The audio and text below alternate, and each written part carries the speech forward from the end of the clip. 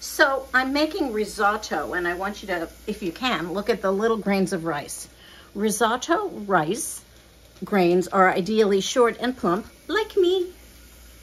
And what I've done so far is I have softened some onion and now I'm gonna, in some oil, olive oil and butter, I'm gonna add my rice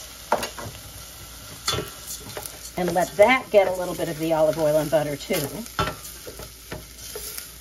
It helps it plump up in the right way, but you don't add any liquid for a little bit.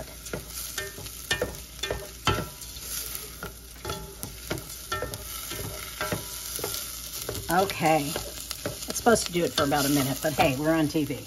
Okay, at this point, we add some bell pepper. Whoops, goodbye. I'll worry about it later.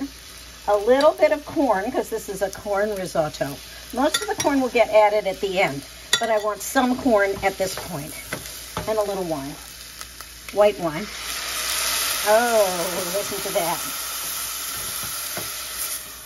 Okay. And now we add, this is something that's important with risotto. You have a little bit of uh, stock on the, on the stove that's warm. And as you can see from the little bits of corn, I actually put my corn cobs in there. It could be chicken stock, which is what I'm using, or vegetable stock. It could be homemade, or it could be bought. Now, the interesting thing about risotto is, we know regular rice, boil the rice in the water, cover, turn down, wait however long it takes. This rice you do not cover, and you do not put all the liquid in at once. That might be even a little too much liquid, but that's all right. And what you do is you let it boil off a little at a time, stirring fairly frequently, but not constantly. And then I'm going to add more liquid and more liquid and more liquid, and I'll, I'll be back and show you later. So my risotto is about halfway through here. If I were to taste it, I actually did just taste it. What I taste is kind of mostly hard rice, but it's getting there. And this is a very forgiving recipe. So as long as you stir it from time to time and make sure it doesn't stick and add a little bit of liquid at a time, it will do its thing. So here I am adding a little bit more liquid. And in the middle, I might add some of my corn. I'm adding most of the corn at the end, but this is just to give it more corn flavor, make it prettier. If I added all the corn, then it would keep the rice from doing its work. So I actually have this on fairly low heat so it doesn't stick. But you can see, I watch for it to pool up, and if it's still pooling up, I'm fine. If it dries out, then I add more liquid. So I will be back in a little while when it's almost done. So we're back and the risotto is just about done. It may be a little too liquidy, but it will absorb that liquid. Now, the weird part is the risotto as I said earlier, or I should have, tells you when it needs more liquid. And it also tells you when it's done. So what you do is you taste a little bit. Mmm. It should still have some texture. You don't want it wet.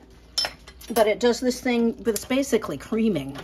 It's delicious. Now at this point, I'm going to add more wine. Corn.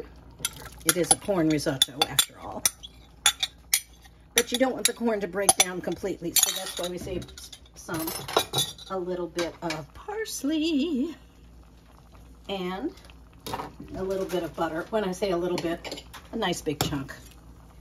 And some Parmesan cheese or Romano or whatever your favorite Italian cheese is. We just stir that in and that's it. Then when you're done, I'm going to put it in a bowl to show you in a minute. You can also taste it and see whether you think to tell you the truth, it shouldn't need too much salt because my stock had salt in it. The cheese is salty. Oh my goodness, that looks so good. Good. It looks delicious. So I'm going to put it in a little dish. And then I should stir in this, the, the, the butter, but we'll pretend. You can see the cheese kind of stringing.